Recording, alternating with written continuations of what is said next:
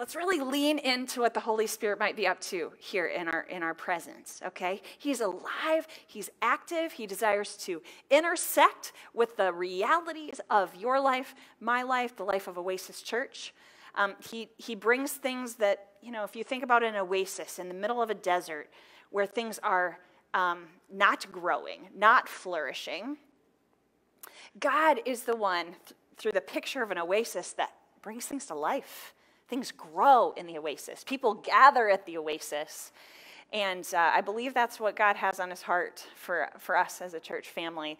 Uh, individually, then, as we go out, um, we get to be bringers of that kind of life giving goodness that the Lord has planted in us. So lean in this morning. I, I promise to do that. Um, and uh, we'll, we'll be in this together. Let's pray, shall we? Let's pray. Father God, thank you. Thank you for being our, our good Father, for being perfect in all of your ways. Thank you that you draw us together this morning. It's April 24th, 2022, and you've got plans, ways that you want to get goodness in us and help us to grow. So um, may, your, may your will, with that will, be accomplished here now in Jesus' name. Amen.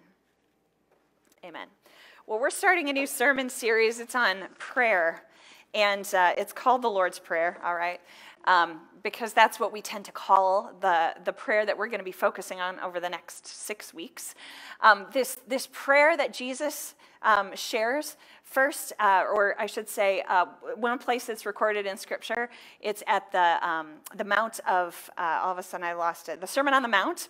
So it's this really great sermon, probably the most famous sermon of all times, one of the best sermons of all times. If you aren't familiar with it, go to Matthew, if you would, uh, chapter 5, and you can experience the whole thing. Today, we're going to be talking about the segment that we tend to call the Lord's Prayer. Jesus didn't say, This is the Lord's Prayer. Okay, we call it the Lord's Prayer because it's the Lord who introduced it to us. Jesus uh, shared it there uh, um, on the Mount um, as he was speaking to many people and teaching them about the ways of God. And it's also recorded in Luke, um, and, uh, and Jesus' disciples were needing help with praying. And so, hey, this is how you can pray. And so, if you struggle with what it means to pray, I want to invite you to know that you can be real about that. You know, if somebody said, Would you pray for us right now out loud? How would you feel about that? Or maybe even uh, if we took a minute and we just were quiet individually before God and pray. How does that strike you? Is it something that you're comfortable with? Is it something that you do a lot? If you're not, it's okay. We get to bring, again, our real selves to the table this morning and come under the teaching of, um, of Jesus in regard to what it means, what it means, what it means to pray and what that's like. Um, I think uh, the first part we're gonna we're gonna break this down in each week. Okay, so each segment of the Lord's Prayer we're gonna break down. So today we're gonna get after this first part, Our Father who art in heaven. And uh, it's a very conversational way Jesus introduces this prayer. You know, it's like if you called somebody on the phone, you wouldn't just start talking, right? You would say, "Hi, Chris. This is Jody. How you doing?" Right? This is our Father who art in heaven. All right. Um, it's a conversational way to start a conversation with God. We're invited to be in relationship. A conversation sort of well, it kind of leads you to think there's a relationship there, right? And we're invited into a relationship. It was a long time in my life before I kind of got that, realized that God wants a relationship with me. That means we talk. If you have good, strong relationships in your life, I'm pretty sure you converse with that person right? You talk with them. You listen also to them. That's an important part of prayer. Uh, but you have this dialogue Our Father, Dear Father, Jesus said, if you want to know how to pray, this is how to do it. If you would, turn with me in your Bibles to Matthew chapter 6, where we're going to uh, see this really great prayer. So, Matthew, Mark, Luke, and John. Matthew's the first gospel, the first book in the New Testament. And we're going to Matthew chapter 6 for, uh, so if you ever wonder, like, where is the Lord's Prayer found in the Bible, you can go one place to Matthew chapter 6. All right, so Matthew chapter 6, and um, we're going to pick up right uh, on verse 9. Jesus said, Pray then like this Let's, let's listen to that whole prayer. Our Father in heaven, hallowed be your name. I can't wait to talk about that next week, actually. Your kingdom come, your will be done on earth as it is in heaven. Give us this day our daily bread and forgive us our debts or our sins or our trespasses. Maybe you're familiar with that version. As we also have forgiven our debtors. And lead us not into temptation, but deliver us from evil. All right. There's more to the Lord's Prayer, and in the coming weeks, we're going to talk about that. But this is what is recorded in Matthew chapter 6 Our Father in heaven. So, you want to know how to pray? What's it mean to pray? It means to be in conversation with God. Couldn't be more clear than Jesus says, when you start, say our Father. Now, what's the significance of our Father? It's kind of a big deal. We get kind of comfortable with it. Oh, yeah, of course, the Lord's Prayer. Our Father who art in heaven, right? We don't even think about it. I don't sometimes. I don't think about those first few words, but what's being communicated? One, about Jesus, two, about God the Father. There's stuff here, let's mine for it. So, Jesus establishes a relationship, and we know that he calls on God the Father. So, there's a son father relationship. We hear that, we talk about that Father, Son, and Holy Spirit, the Trinity. But he is also saying to his disciples, this is how you should pray too. He is also your father. That's a really, really big deal. Way back in Exodus, the very first time, that concept of um, Israel, the, the, the Hebrew people being God's children, comes in Exodus when Moses is supposed to go, he's supposed to talk to Pharaoh because God's people are enslaved in Egypt. We've been talking about this actually over the last couple of weeks as we've been thinking even about the journey of Jesus to the cross with the Passover. And so, uh, before that, as Moses is supposed to go talk to Pharaoh, he's supposed to, actually, let's go to it. Exodus chapter 4. I'll get you turning all over the place if you have your Bibles with you or your apps. That's really, really slick. Exodus chapter 4, verses 22 and 23. God's giving Moses instructions on what to say when he goes to Pharaoh, and he's supposed to say this about Israel. Thus says the Lord Israel, God's people, the Hebrew people, Israel. so he's got their audio on the Bible. I love that. That's great. Chapter 4, that very dramatic voice. Okay, uh, verse 22. Uh, then you should say to Pharaoh, God says, Thus says the Lord, Israel is my firstborn son. And I say to you, Let my son go that he may serve me. An established relationship of father and son is first named in uh, the Hebrew scriptures in the Old Testament here in Exodus. So God's people and, and Jesus' disciples would have likely known that. Okay, for again, for years and years, they've been celebrating the Passover. They've been celebrating and retelling this story about how God saved people from slavery, walked them into freedom. They would have known that the identity of God's people was one of a father and son. Okay? So when Jesus says, pray like this, our Father, he's tying back to the freedom that was won on God's behalf for the people. Okay? Super cool. And I don't want us to miss it. And this is something I've been learning this week. We, we are tied to that father son, that child father relationship. And that's really important when we think about our father, when we think about who God is, our Father in heaven, and his relationship. It also puts us in a brother like sibling relationship with Jesus. Have you thought of that? If we're all calling him our Father, Jesus is like our brother. Scripture talks about that as well. Okay, so we get to be in the royal family, praise the Lord, huh? I don't know if you've thought about your identity lately like that. If you look in the mirror and you think, man, that's royalty looking back at me, that's what God says about you. It's his kingdom, right? He's the Father, and Jesus says, hey, when you pray, pray like this Our Father. So there's a lot more happening here than just two words. Jesus uses the word Father a lot.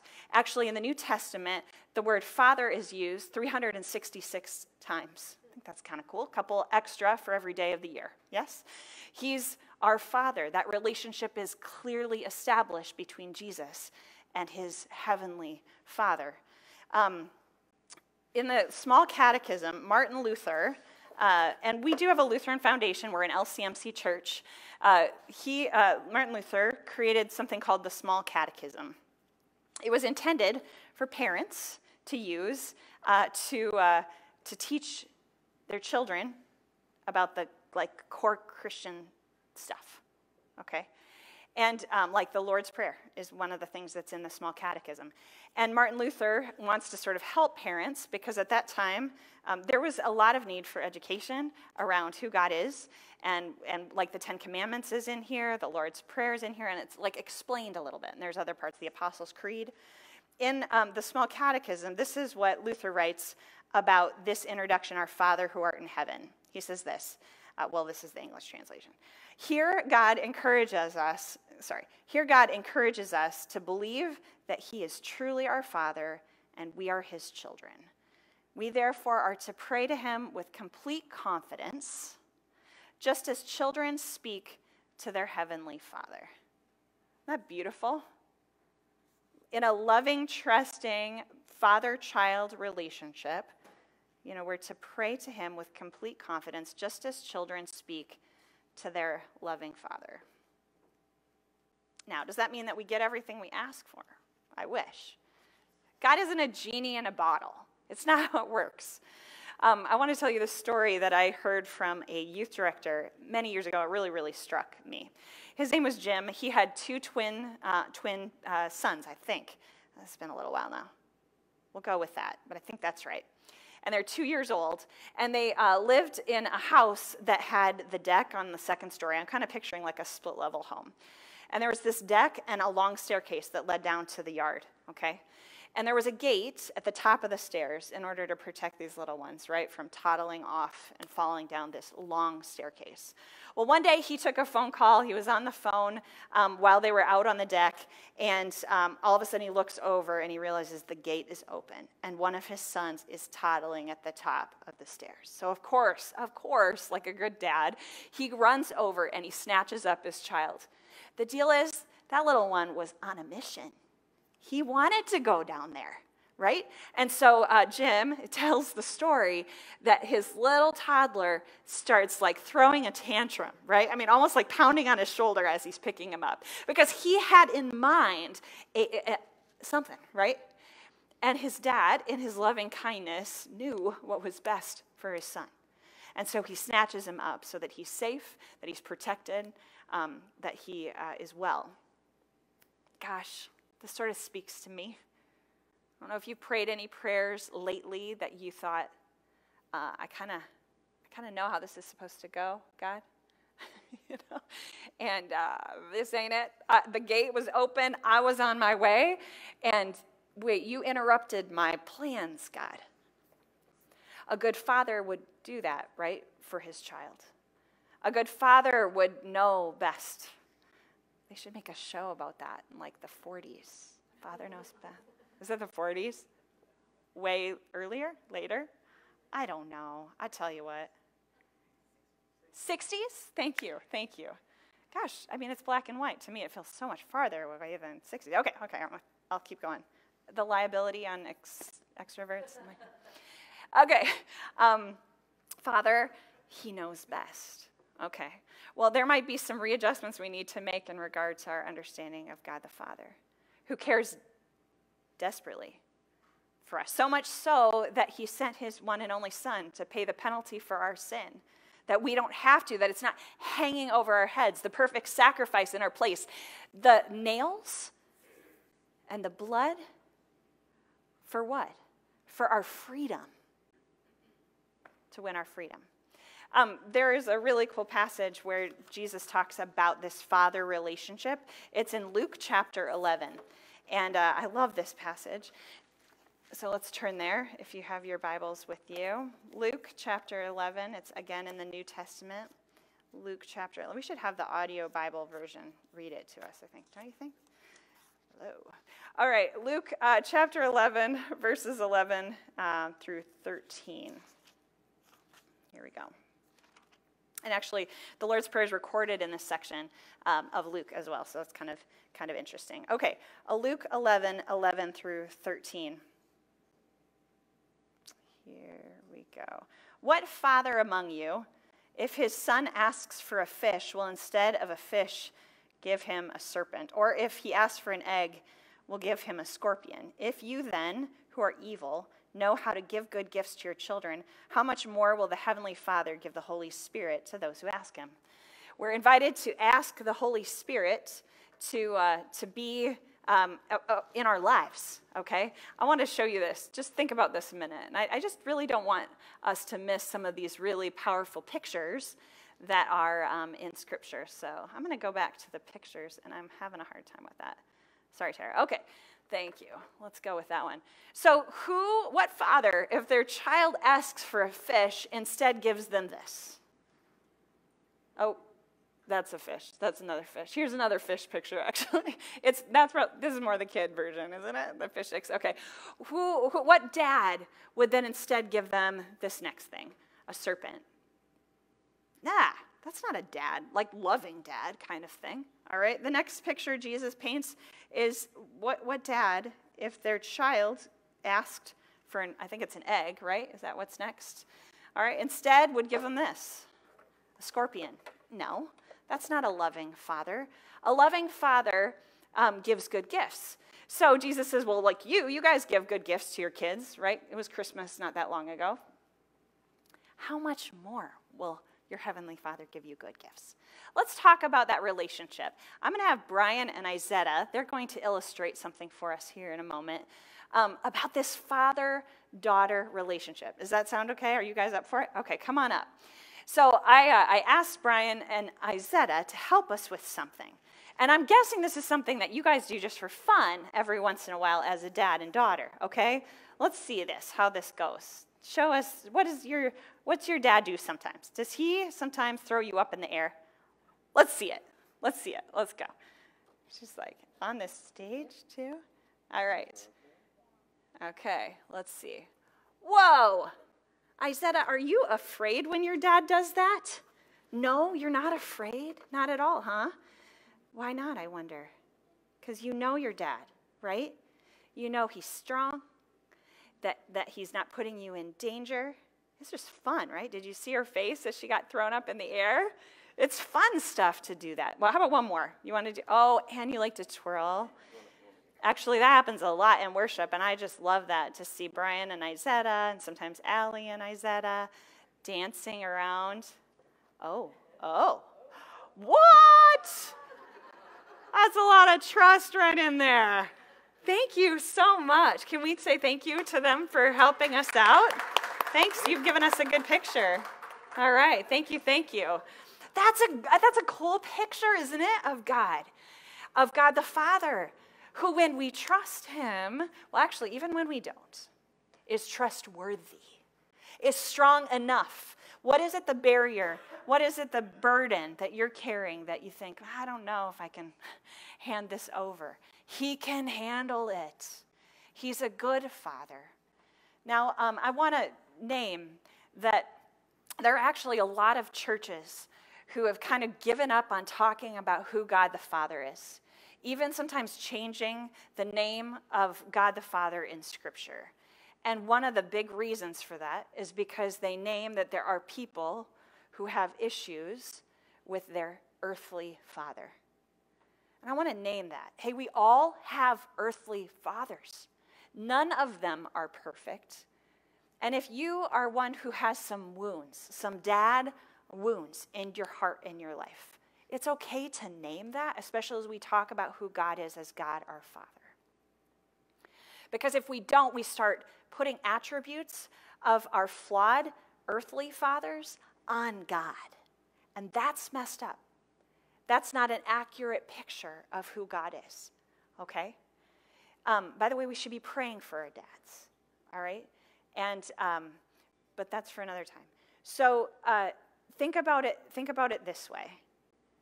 And this is why I think it's so important for us to talk about God the Father, especially for people who have heart issues with their earthly father, because our heavenly Father is perfect.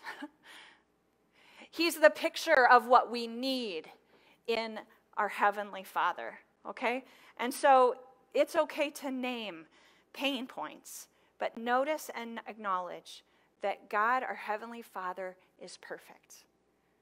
And if your earthly father has not been able to provide what you need, know that your heavenly father has it in spades. Okay? If there's been lack of trust, hurtful words, um, even walking away. That's, that's not God. He doesn't do that. As our perfect Heavenly Father, He is with us. He promises to love us. And I hope, I mean, I think about my dad. I have, there's like tons of attributes of my dad that I am so thankful for. He resembles God in those ways. But where there's brokenness, know that our perfectly heaven, Heavenly Father desires a relationship with you, so much so that we run to Him and say, Hey, Dad. And that's kind of what Jesus was introducing to His disciples. Hey, Dad, let's talk. Hey, Dad, your name is great. Your name is you're in heaven. You're over all things. You're greater than anything I could comprehend, and yet you invite me to be in a personal relationship with you, our Father. My, my encouragement to you this week is to find at least one time a day, put a prompt somewhere if you need to, an alarm on your phone, post it on your mirror, wherever, and pray a Our Father kind of prayer. Start your prayer, Our Father. Hey, Dad, Hey, Heavenly Father, start a prayer like that and see what comes, you know? Bring whatever it is before Him. Put your trust in Him, like we saw Izetta put her trust in her dad. Maybe even just a small step. Thank Him for the ways that He's shown up as a good Father, okay? Find some ways this week to pray that Our Father prayer because He loves you. Can I tell you this? I want to look you all in the eye like at the same time. I can't. God can. He loves you. He wants to mend the parts of your heart that are broken. He wants to redefine what needs to be redefined in regard to fatherhood. He wants to show you that he's trustworthy. He wants you to run to him. God, can you tie my shoe? I can't get it. I need help. Even the little things. I mean, I know most of us here can tie shoes. I, I don't have. Anyway, moving on. So we can come to him with anything we need. And he is arms open wide. There's a great story in Luke 15. You can read about it this week if you don't believe me. Where the father is shown in such a way that he runs to his son, who has absolutely sold out, walked away, said, You're, You know, I'd rather you be dead than alive. That's the son's take. He walks and he walks away. But when he realizes that things in his father's house are better than what he's doing right now, he turns around and he doesn't even make it home before God the Father is running to him, which culturally that was really not a respectful way. And the father runs, runs to him, throws his arms around him, kisses him on the cheek, gets a robe. And next week, by the way, we have confirmation here uh, at Oasis Church, our very first. And it's such a beautiful picture of a robe that's placed on on this son, the first robe in Luke 15, that shows you are back. You are clothed in, in purity because of what the Father has done and on, on the behalf of the Son. And uh, we can just live into that. So let's pray some Our Father prayers this week, shall we? And see what God does in our hearts. All right, let's pray. Our Father, uh, thank you. Thank you that you're trustworthy. Thank you that you're dependable. Thank you, Father, that you are uh, consistent. Thank you, God, that you are you you look on us with love. Thank you, Father, that you are gracious. Lead us to understand your Father heart for us all the more. In the name of Jesus, we pray. Amen. Amen.